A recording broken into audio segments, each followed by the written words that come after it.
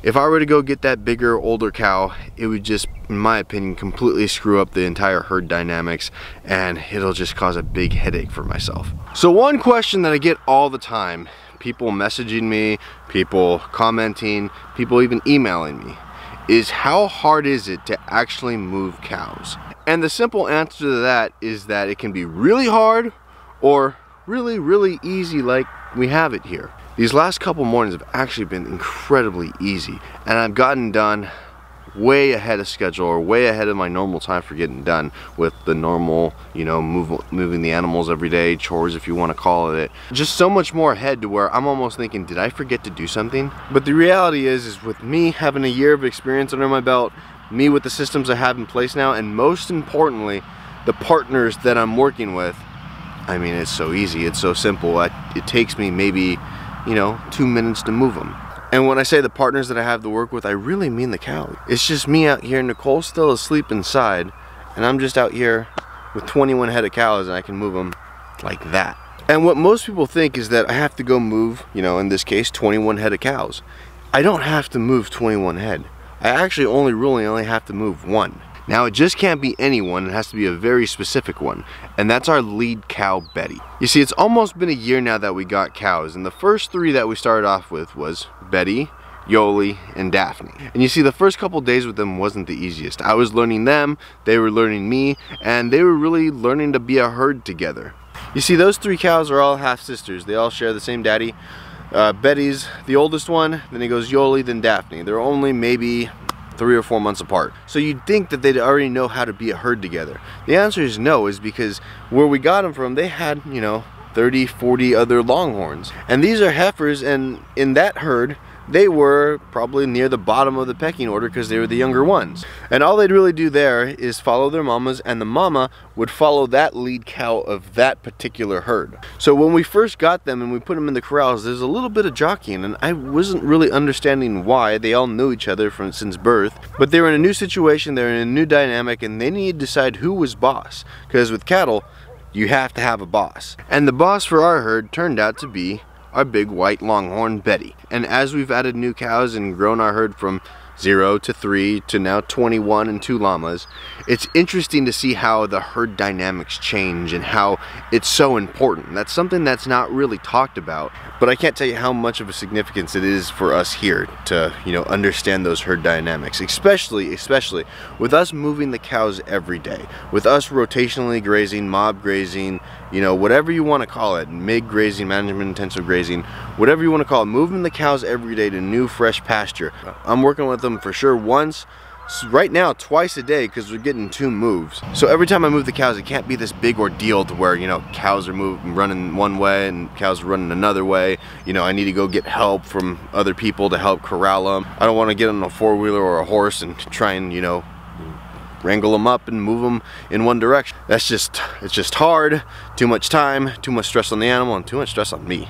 So what I did in the beginning was I worked really, really hard with our first three cows to train them to me and train them, okay, this is what moving looks like. Because they'd never seen electric fence, they'd never been moved, they were just turned out to pasture just like, you know, everybody else does it. So I really had to work to train them to our system. And what I did is I got some alfalfa pellets because those are, you know, alfalfa's grass and those are like cow crack. Those three cows will come running from anywhere when I start shaking a bucket because they know, oh, you know what, that's candy. I was known as the candy man for the first little while because every day I'd go out there and I'd move them with an alfalfa pellet bucket. Now today, a year later, I don't use the alfalfa pellets really ever. If I have to do a really long move, I might do it. But even the really long moves that I've had to do, I'm not using it anymore. Why? Because one, it's a hassle, and then two, we have 21 head of cows and they all kind of know the bucket now and it gets kind of crazy and I just uh, I don't like being out there with the horns and them you know pushing and shoving and everything I'll give it to them every once in a while as a treat but by using that bucket they learn that they're gonna get a treat and then also they learn that they're gonna get fresh grass is that's what they love so those first three cows I really, really worked with. And we had some issues with, you know, jumping the electric fences, going under it, blah, blah, blah, blah. Just stuff that's as, as expected, okay? But you really can't do too much with just three cows. You want to be able to expand. I didn't go and get more until I had those first three down, like completely down. To where they were completely comfortable with me, I was completely comfortable with them. When they saw me, they got happy because they knew something good was going to happen. When I felt comfortable enough to get our second set of cows, see, I think you can see her. There's, there's Rose, and then Ellie's up there. Those are the two that we got. When we introduced them, there was some pushing and shoving, but they kind of figured out their own hierarchy, and that's what happens. But those two cows, I didn't have to work with as much to where I didn't have to go and worry, oh, are they out of the electric? Are they going to learn it easy enough? Is it going to be hard to move them? Why? Because they fell in and Betty was still the lead cow. Betty knew what to do. They're gonna wanna be with other cows because they're herd animals and they just followed Betty. Now they get it, they knew it. I think on that last move through, Rose and Ellie were the first two through because they know when they see Ryan, he goes and moves the fences and calls us, something's good gonna happen. You see, Betty's role is just not, okay, that's the cow they follow. She also has the role of protecting her herd. When we had our five cows, we had like a little bit of an incident. Not a big incident, nothing happened at all. There was a little bit of an incident with the neighbor's cows to where the neighbor has, I don't know, maybe 60, 70 cows and you know, he just lets them roam and they kind of move around wherever the land he owns or rents or whatever. Well, that herd of cows came up to the fence that one day where our herd, you know, was grazing where I had to move for the day. And it was uh, it was like a standoff that happened. It was really kind of weird. You see, that herd lead cow came up to the fence and started bellowing like crazy. Then right behind it, in a line, it looked like, you know, just one of those war movies to where, okay, you know what, the armies are ready to charge at each other. All the cows were behind that lead cow, and you know they were they were angry. They looked upset. They were over there stomping their hooves. They're huffing and puffing. They were you know just you can just tell they were angry. I don't know why they were angry or whatever was going on but our cows went over there to go see what was going on. Our cow Daphne, who's kind of lower on the pecking order out of those first five, went up to that lead cow and the lead cow kind of boom, butted her in the head like pretty good. I was like, dang, what the heck? I was just out there just seeing what was going on. And next thing you know, that happened. I was like, okay, what the heck? And Daphne kind of backed up because she was just being all nice and sweet. Daphne doesn't have a mean bone in her body. She just go lick on everybody and she's friends with everybody. And then out of nowhere, Betty comes charging up. She runs up to the fence, and she's a lot smaller than this lead cow because these are longhorns. Those are like Brangus or you know something. They're a lot bigger. I mean, 14, 1500 pound cows probably. Okay, Betty at the time probably only weighed six, 700 pounds. She comes running up, right up to the fence. That other cow saw her running up and backed off. I was like, oh wow, you know, there's, you know, 60 other cows behind her. I mean, you're really gonna do this? I was worried that they're gonna go through the fence because I mean, a barbed wire fence, a good tension barbed wire fence, doesn't matter, you know, what it is, unless it's a brick wall, it really is just a suggestion, you know, will it hurt the cows if they go through it? Sure but it's just really a suggestion. Same thing with the electric, it's just a suggestion. So next thing you know, you have 60 whatever bigger cows on one side, and then you have our five longhorns, kind of like in this V formation. It went Betty, Yoli, Ellie, Rose, Daphne, all just like, okay, we're ready to take you on. I'm going, come on girls. You, you, know these these are a lot bigger cows than you. This is not going to end well if you know they decide to go through the fence or you guys do it or whatever's going on. It's not going to go well. Sure enough betty's over there moo! And then our cows just start going you know mooing like crazy and they ran them off. I don't know if it's because i was out there too. Might have been. But next thing you know the cows turn away and they all take off running. It was really weird. It was really cool. It felt like you know I'm Pony Boy and we're ready to go get up for a fight, you know, or we're like the Avengers and, you know, we're about to start charging at Thanos. But that's Betty's role as protector of the herd. She'll go out and charge and having those long horns really helps. And plus, longhorns are a lot smarter than any other cow. I don't care what anybody else says. They are really, really smart. But it's because of her that I've been able to bring on larger and larger groups of animals. You know, we went those three, then two, then another two, and then six, and then eight. And the funny thing is, is that three cows caused me a whole heck of a lot more problems than 21 and two llamas. These guys are so gentle, they're so tame, they're so just in that routine of, okay, we know we're moving when we see Ryan. It's easy, it's easy. Now, is there squabbles? Always, there's always squabbles between, okay, who's moving up, like Scarlet back here. Here she is raising that really long, nice green grass. She's moving up in the pecking order because she's actually put on quite a bit more weight than a lot of the other cows and she's just doing well. And uh, our Charolais Angus cross sheep doesn't like it much. So they'll have a little squabble. And Ellie here who's much bigger has probably moved up to the third position. But Scarlet has moved up. Some of the new cows over here they've uh they're kind of figuring out their own way. See there's sheep. That's who uh, uh, Scarlet is currently in uh, kind of a a little thing with they kind of hang out near each other and then next thing you know they'll start headbutting out of nowhere why because they're trying to establish dominance and you can see they're about the same size uh, sheep might still be a little bit bigger but Scarlet has an advantage because she has the horns. But it's actually been really cool to watch the herd develop because cows really do form friendships. I don't care what anybody says. I see it out here every day. If I want to know where Rose is, guess what? All I have to do is look for Ellie. Why? Because they're always right next to each other. If I want to find where Dolly is, I go find sheep. Why? Always right next to each other you can see who's best friends with who and it actually freaks them out when they're separated away from their friends for example funny story last year we had a wild pig just come out of nowhere running Yoli was against the fence she jumped the perimeter fence yeah she jumped the perimeter fence and she got mixed in with the neighbor's cows it was a really weird you know instance to where the pig ran right by her it startled her it came from the back and she just kind of jumped and she jumped over the fence because she got scared her best friend, her BFF, bovine friend forever, is Betty. Betty lost her mind. Betty lost her mind because Yoli got mixed in with that, that herd. They start butting heads, and next thing you know, I go out there and try and get her back, and the whole the, that whole other herd takes off running. Ended up being that Yoli ended up a mile and a half away, and I walked her all the way back with some alfalfa pellets. Yeah, that was pretty difficult. We got lost a couple times. We went through streams, we went through, we went over hills, we went through forest. It was just a whole ordeal. But that whole time, Betty, I could hear her all the way, bellowing like crazy. I had the electric fence set up. I had multiple paddocks set up, multiple paddocks energized actually.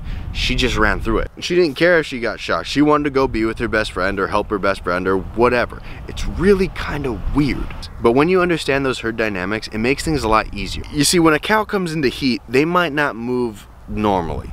Why? Because they get a little kind of, you know, crazy because, you know, that's, they're in heat. They might not know what's happening because these are all heifers.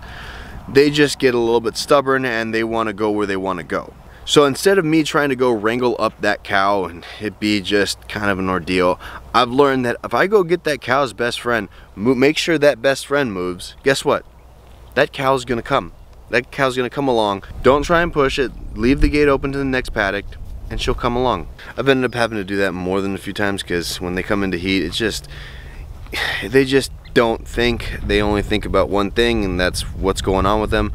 And when you can just go get their best friend, they'll eventually calm down and they'll just come in the next paddock and it's no big deal but it's just been really cool to develop this relationship with these cows to where you know some of them come up to me and I just go like this and they know that means that they're gonna get scratches right behind their horns which they love. If you're gonna pet a cow right behind the ears right behind the horns where they can't necessarily get with their foot that's where you pet him he'll be their best friend. Now not all cows will do that. Betty won't let me touch her still even though she's been with me almost a year and she trusts me fully.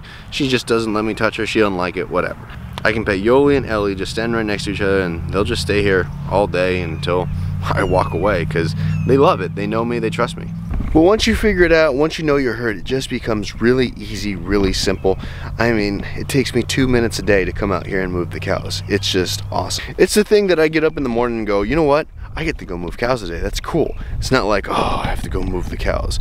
You know, when it's raining, maybe it's not the most fun, but I wouldn't choose to do anything else. These cows get fresh pasture. They're moving away from their parasites. They're eating the best primo grass. They're healing the land. I mean, it's just, you can't get better than that. If you can say that you're supposed to do something in life, I don't know if that's a thing or not, if you believe in that, this would be the thing that I'm supposed to do. I want to show you this. Check this out. We are not even in April yet, and check out the grass in this paddock. I mean, it is thick, it is lush, it is not 100% up yet, but it's more than other places. And this paddock here, I thought that this one is one that we're gonna have to skip a little bit because I did unroll a lot of hay in here because our hay stack is right there and there's a gate and me not having a tractor, this is the easiest place that I can move it. Here is turning into one of our better pastures, that's for sure. I mean, look, we have grass That grass is probably almost a foot tall and it's not even April yet. It's the end of March. Check that out. You can see exactly where I unrolled the hay bale. So much greener there and actually a lot thicker than everywhere else. I thought we were gonna have to skip this, but I'm learning the more hay that you can actually put down in one place, you know, smartly, the better. Look at that, look at this grass. I can't believe this. Again, the cows have already been in here for a little while and they've already grazed this once in springtime. Look at this grass. This is crazy. This is crazy. Look, here. It's my foot. Wow. Enough with the grass. back to what we were talking about.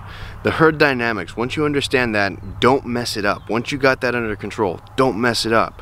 One of the things that uh, I was considering, but thought probably better against is getting other cows. When we first got, you know, Betty, Yoli, and Daphne, they were all heifers. And since then, I've been offered other longhorn cows, like full grown cows with a baby on the side. But I said no to getting them. And that's for a very specific reason. Because if I brought in a cow, big, full-grown longhorn cow, that, you know, is maybe four, five, six years old, and has the horns out to here, especially with longhorns, she who has the longest horns is going to be the lead cow kind of thing. If I brought in that cow, and her and Betty start pushing and shoving and Betty loses because she's got the smaller horns, I might end up having a big problem on my hands. I might have to retrain almost the entire herd to moving every day. Why? Because we're going to look to that new lead cow. I won't. I will not do it. I will not get a cow that's bigger than Betty. Why? Because I know Betty, I trust Betty, she knows me, and it's so easy to move them. If I were to go get that bigger, older cow, it would just, in my opinion, completely screw up the entire herd dynamics and it'll just cause a big headache for myself. Now some people might ask, what about our bull? What about our bull Jordan? Where does he fit in? The bull, he won't be the leader of the herd. He'll be the protector of the herd, but he won't be the leader of the herd. Why? Because his main job, his main focus in life is to breed all the cows. He doesn't care about being the leader, he just cares about being around the cows. Now, it's funny, because him and Betty will go and play every day. They butt heads, they butt heads, they butt heads, and, you know, he's still a little bit smaller. He can't, you know, one-up Betty just yet. Eventually, he's going to be bigger than her. He's going to be the biggest, baddest guy around here, but he will still look to Betty as the lead cow. So as long as she moves, he'll move, and with him, he's not aggressive. He, I haven't seen any kind of, you know, even horn waving at me. If anything, he just, he likes me. He comes up to me. He knows the bucket better than anybody else because I think the previous owners really kind of fed him a lot of grain. I don't know about that. He came here in not the best shape. He came here in not the best shape, pretty skinny. Uh, I bought him as the bull, said, let's see what he turns into, and worst comes to worst, we'll steer him he ended up looking just perfectly so far. So far, so good. He just got to go and get the job done now that he's getting a little bit taller, so that's going to be cool. But what I'm going to be doing with him and the new steers is come April 15th, I'm actually going to be separating him and the new steers away from the herd for about a month. And that's to take us out of winter calving. I don't, and when I say winter calving here in East Texas, it's the, you know, last part of, uh, it's the last part of January, the first part of February we want to stay out of completely because of that snow apocalypse that happened. It scared me, two feet of snow, negative two weather. That's not a good situation for a calf to be born into. And the gestation period will put us late February when we put them back in in May. But with me reintroducing that herd, I'm not gonna worry about the herd dynamics getting messed up. Why? Because Betty will still be on top, healed, no matter how big he gets in a month, not gonna try and take over that lead position. But also when I separate the herd, I talked about the cows having best friends kind of thing. Tiger and Rusty, our first two steers, they came with Ruby, Strawberry, and Scarlet, all in one batch. They're still very close with those three other heifers of ours.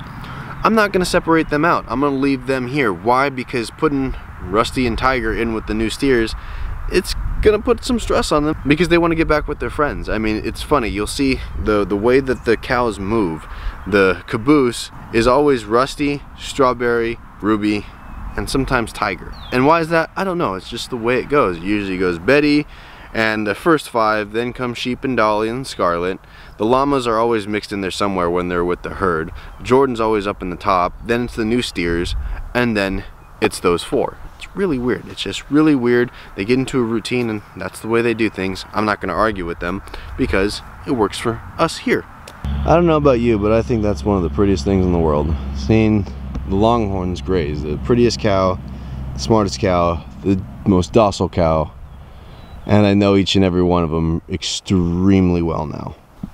It's funny, when there's an issue, when there's a little bit of a problem, when one of them's not cooperating, when one of them's out, I usually know who it is, I know what they're gonna do, and now I feel really confident in knowing how to solve that quick little problem. But right now, there's usually not any problems, it's so easy. And with me, I attribute that to knowing the dynamics of our herd. And as long as I don't mess with those dynamics, it's gonna be the same. And I expect it to be just even easier as we go along. So with that, hit the subscribe button down below, ring the notification bell to get notified when we put up new videos. Hit the like button for the YouTube algorithm, drop a comment if you like. All right, until next time, see ya. Bye. Come on, cows. Come on, cows, cows, come on. Come on, cows. Come on, cows, cows, come on. Come on, cows. Come on, cows, cows, come on. Come on, cows. Come on, cows, cows, come on. Come on, cows. Come on, cows, cows, come on. Come on, cows.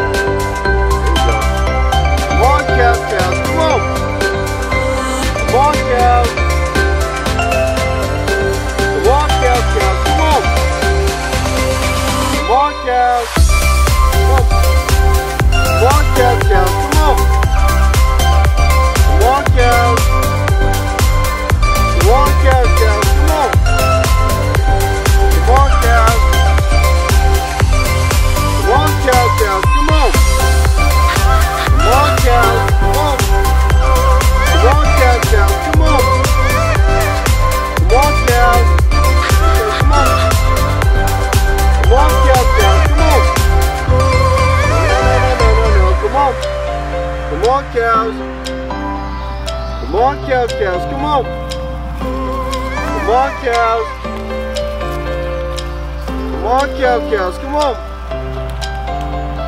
Come